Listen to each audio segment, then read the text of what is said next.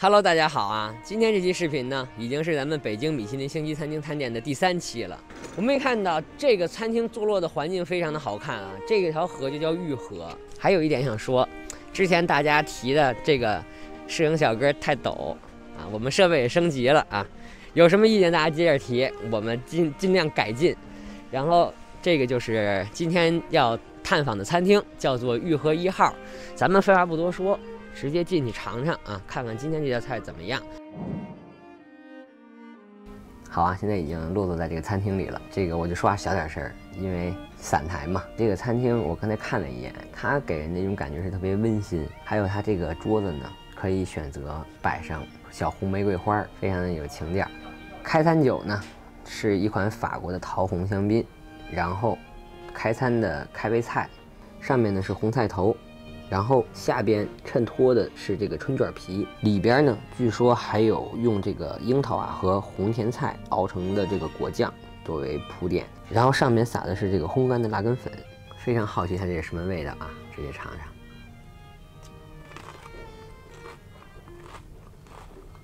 红菜头柔软的质感，搭配上这个下边这个春卷皮，非常的酥脆，层次感特别的鲜明，然后味道是酸甜口，上边。烘干的这个辣根粉，有一点点微辣，特别的开胃。然后这边是压缩凤梨，上边竟然撒的是白胡椒，这个有点难以想象是什么味道。我尝一口。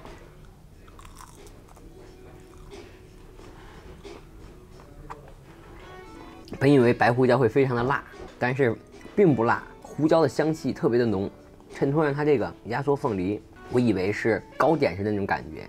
但它是那种非常爽口的，跟水果的那个口感差不多，非常的多汁儿，也是非常的开胃。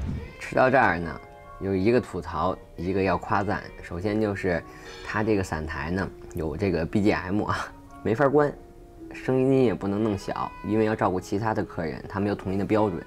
当然要夸赞一点的就是，他这儿的服务人员会一直在巡视这个客人的用餐情况，就是这个菜吃完。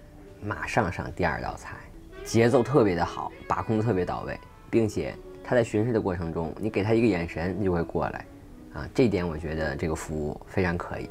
这个第二道菜呢是一个南瓜汤，上面点缀的是芥末籽儿，中间呢是日本的海胆，然后上面撒的是法国的小葱苗，是一个结合多种国家的食材的这么一个汤。他说趁热喝，我赶紧尝一口。哇，这个南瓜汤不是纯稀的，它这是这种果冻状的。我不就海胆，尝一口啊，先。这芥末籽的口感很奇妙，咯吱咯吱的，但是又不会嚼成跟你吃小米儿似的，弄在那嘴里粘在口腔的边上，让你特别难受。然后这个下边南瓜汤的口感有点像鸡蛋羹，配合上它这个日本的海胆，尝一口。说实话啊，不知道是不是因为先入为主的原因，一上来吃这个没有加海胆，后边配上海胆吃，我觉得有点多此一举。然后是餐前面包，据说他家的面包做的是非常的到位。左边的这个呢是黑松露的黄油，右边这个是洋葱黄油，来一点黑松露黄油试试啊。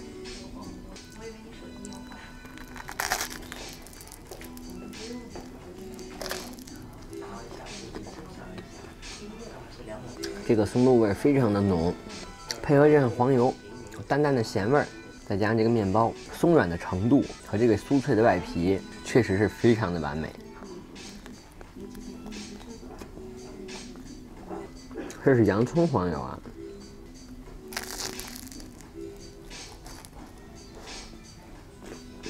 洋葱黄油并没有太重的洋葱味儿，一个咸口，一个甜口，根据自己的口味儿。想蘸什么都可以。嗯哼，下面一道呢是沙丁鱼酸面包手指柠檬。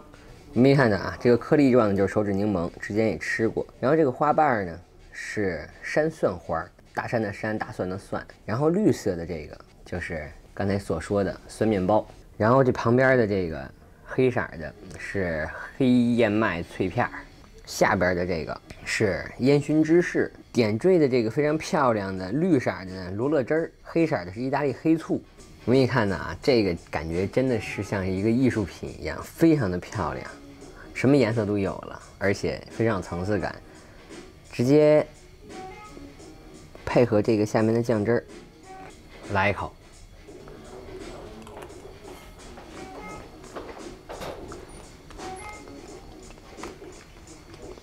哇塞，这道菜的层次感也是非常的丰富。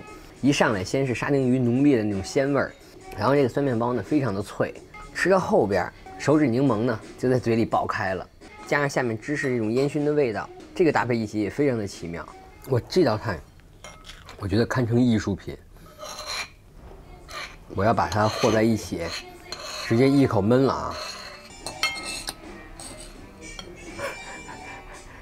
感觉把一个艺术品亲手给毁了的感觉，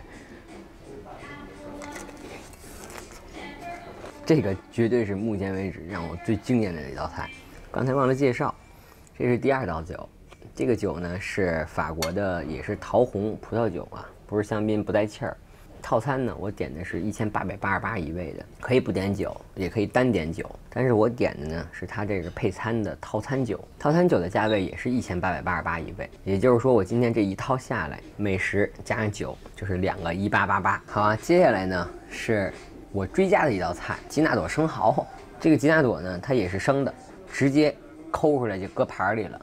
但是这整体下来跟一幅画似的，还是立体画。红色的是彩椒汁儿，绿色的是罗勒汁儿。这个花儿呢有点洋气，名儿没记住，但是能吃。黄色跟红色的就是小彩椒，然后旁边呢是青口贝。我吃生蚝无数了，但是把生蚝做成这样的第一次见，我尝尝啊。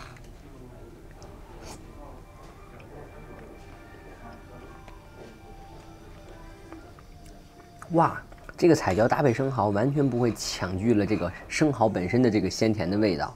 这次是生蚝肉搭配青口贝，还有它这个叽里咕噜花儿啊，尝尝，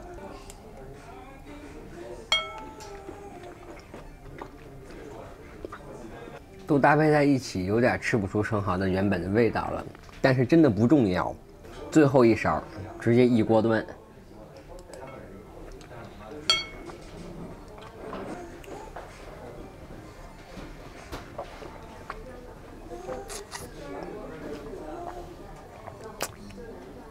太完美了！接下来这一道呢是帝王蟹肉，这个是帝王蟹肉用了，这是等会儿看一下什么壳啊？帝王蟹肉用的一个雪蟹的蟹壳，上面呢是低温慢煮的一个日本鸡蛋，旁边是海鲜汁儿配合龙虾油，上边呢红菜头，绿色的这下边混合着蟹肉呢是香菜，然后搭配第三款酒呢是法国勃艮第大区的一个白葡萄酒。咱们废话不多说，直接把这个低温慢煮的鸡蛋黄，哎呀，给它弄碎。哇，留下来了这个蛋汁儿啊，配合上蟹肉，还有旁边的龙虾油和海鲜汁儿，直接㧟一大勺，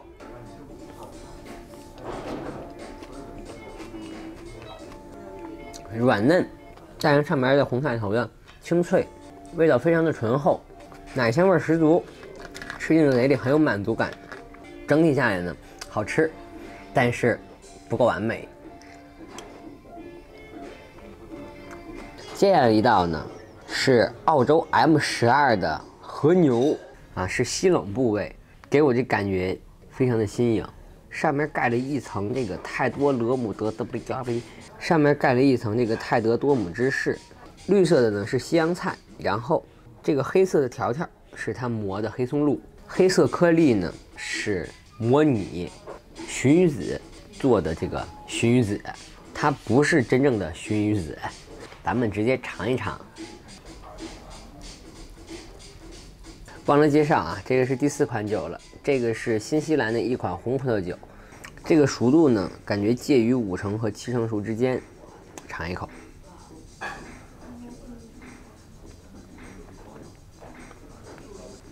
又惊艳到我了，M 十二和 A 五啊，一个是澳洲和牛的评级，一个是，耶，他这个餐厅竟然说这个是 M 十二，正常其实澳洲官方的评级是没有 M 十二的，只有 M 九加，嗯，这感觉它不严谨了，但是其实无所谓，它意思表达到了。M 十二这个牛肉呢，对应日本的这个和牛的这个评级，其实就是 A 四，甚至到 A 五。如果严格的来讲呢，其实是达不到 A 五水平的。它这么标，能明白就行，其实不用太较真儿。我再来一口，这牛肉太好吃了。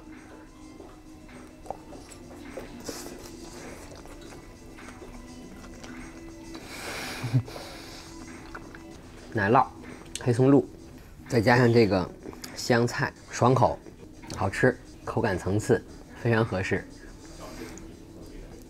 在这种软嫩绵密的口感中，大颗粒的海盐更加突出了它这个整体的层次感，非常的不错。接下来一道呢是蓝龙，是用这个海棠花的这个树枝儿，穿上这个洋姜，还有海棠花，再加上这个炭烤过的蓝龙肉，上面滴了两滴酱油。这个呢就是蓝龙肉配合蚕豆，上面是宝塔菜，然后配酒呢，这已经是第五杯了。这个是法国勃艮第地区的霞多丽酿制的白葡萄酒，迫不及待了啊！首先呢就是。这个蓝龙肉的肉串儿，闻着有一种炭烤的香味儿，不知道是不是炭烧的啊？我靠！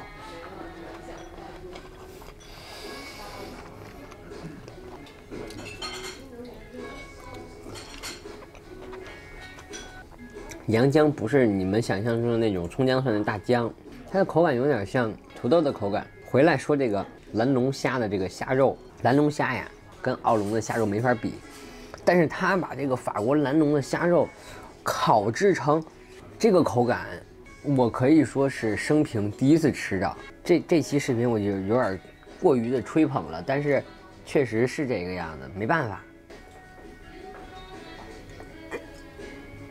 喝一口白葡萄酒，然后尝尝它这个绘制的龙虾肉。这个龙虾肉我不知道它具体怎么做的啊，太嫩了，配合它这个蚕豆，还有它这个宝塔菜，直接来一大口尝尝。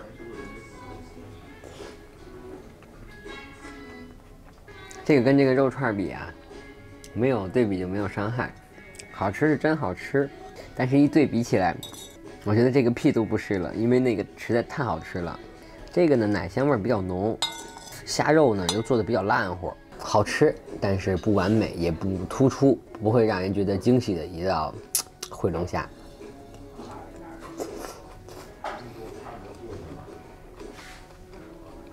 下面一道呢是小雏鸭薰衣草鸭肝酱，旁边呢搭配的是节瓜切的片儿，上面呢是节瓜花儿，然后搭配的酒呢已经进入到第六杯了，也是红葡萄酒。这个据说呢是三十天的小雏鸭啊，然后旁边是鸭肝磨的酱，这个鸭皮感觉非常的酥脆啊，用刀轻轻一碰就化了。然后下面这个鸭肉感觉有点老，切了好几刀才给它切断，搭配这个薰衣草和鸭肝酱，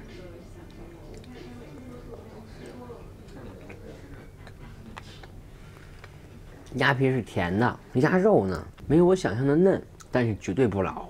上面这个薰衣草很神奇啊，我没有单独吃出薰衣草是什么味儿。我捏一个，我尝尝，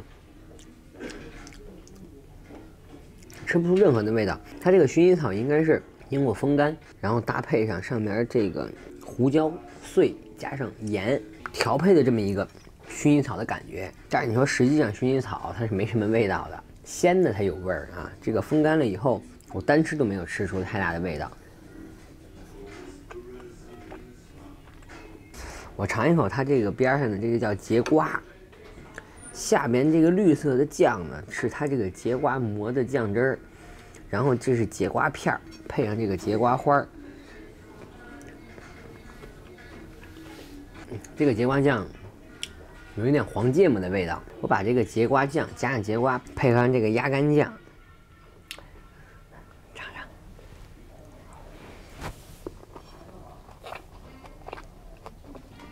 下面鸭肝酱醇厚的口感，鸭肉、鸭皮、薰衣草，配合上盐和胡椒，再搭配上这个节瓜的瓜片儿，还有这个芥末味儿的这个节瓜汁儿，层次感非常的明显，吃进嘴里从浓郁到醇香到爽口，又是一道惊喜的菜。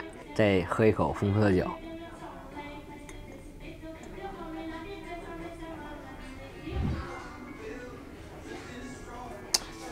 据这个服务人员介绍啊，这个呢是用来过渡的点心，里边这个是蓝纹奶酪。大家都知道蓝纹奶酪非常臭，我之前也吃过，但是这个味道闻起来并没有什么太让人反感的异味啊，很正常的奶酪味道。然后外边这一层坚果啊做的这个酥壳，然后黑色的这个是红酒树莓酱，搭配的酒也是最后一道。第七杯呢，用的是法国的贵腐酒，直接尝一口，这个什么味儿啊？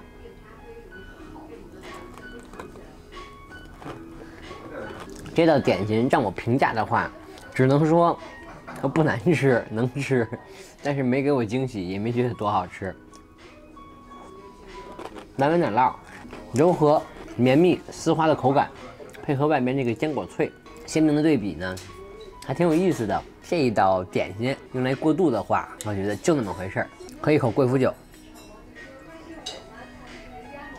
下面一道呢是海棠乳清温博，上面这个点缀的呀是海棠花儿，这个粉状的这个呢是红树莓的粉儿，白色的乳白色的芝士，下面据说还有香草棍，㧟一勺尝尝。这个整体的口感。像奶油，但是又不是那种奶油的那种腻味儿。香草棍呢，吃进嘴里有点像咱们平时吃的果酱，很爽口，很西式的一道甜品。这个也没有给我惊喜，也不觉得完美，但是挺好吃的。接下来一道甜品呢，也是今天的收尾，法芙娜巧克力配上夏威夷果的果脆和木槿花。上面这个叶子呢是木槿花的叶子，然后这个白色的粉末也是说是木槿花做的。这一片啊是巧克力，下面呢是夏威夷果脆，最后呢下面这个液体是冰薄荷牛奶。这道菜啊也是富有层次感，非常的立体，直接用勺中间咔嚓，哟，很脆啊。一口放进嘴里，尝尝这个最后一道甜品它怎么样，能不能给我带来惊喜？